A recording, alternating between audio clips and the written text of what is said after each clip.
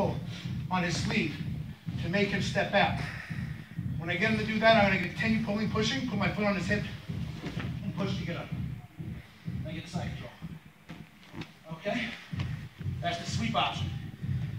Now, same position. I got De La Riva, I got the pant grip, I got the sleeve grip, I push him and I extend him out.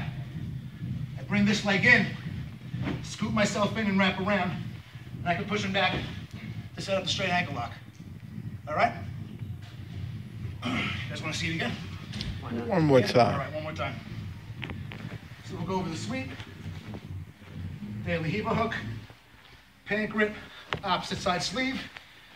I'm gonna push on the leg, extend him, pull him this way. Once I get him going over, push over, get the side control. Then we have the leg lock option. Same thing, La Riva, got the grips, pushing, extending, except this time I'm gonna bring myself in. When I take my leg out, I scoop my butt in a little bit.